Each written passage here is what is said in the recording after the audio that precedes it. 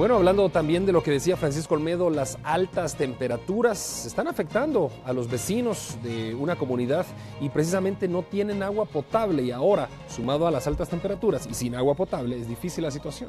Bueno, y es que vea, diariamente los vecinos de la zona 10 de Santa Catarina Pinula deben comprar el vital líquido. En el cemento se le informamos de qué se trata.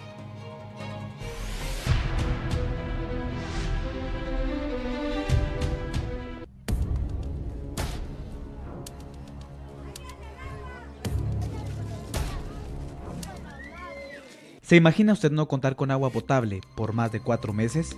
Es lo que le sucede a los vecinos de la Esperanza Zona 10 de Santa Catarina Pinula. Por ello se ven en la necesidad de comprar a diario toneles con el vital líquido, pero esto perjudica la economía familiar. Hemos pasado comprando agua a 10 quetzales cada tonel de agua y los botes a 2 quetzales.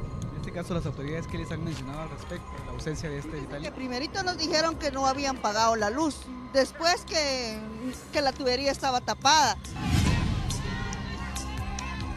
Menos no tenemos agua para hacer limpieza, lavar ropa, tenemos costales llenos de ropa. Que se pongan la mano en la conciencia que nos pongan agua, porque nosotros no tenemos dinero para estar comprando agua todos los días, va, porque vale 10 quexales el tonel de agua.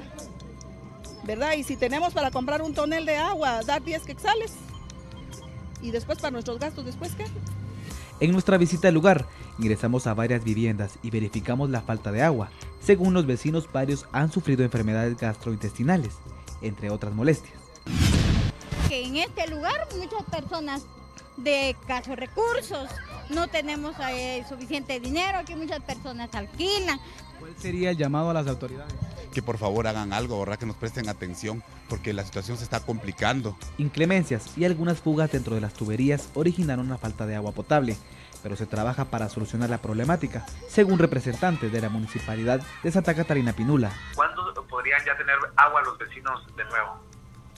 Pues mire, como le digo, los trabajos eh, se vienen realizando eh, en, estos días.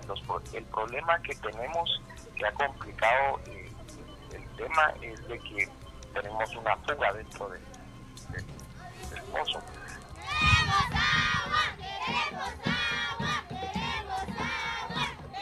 Esta es la solicitud de los vecinos de la colonia La Esperanza en la zona 10 de Santa Catarina Píndula, esperando que las autoridades provean lo antes posible del vital líquido. Y usted marque la línea contra la impunidad 24 10 32 00 y quéjese.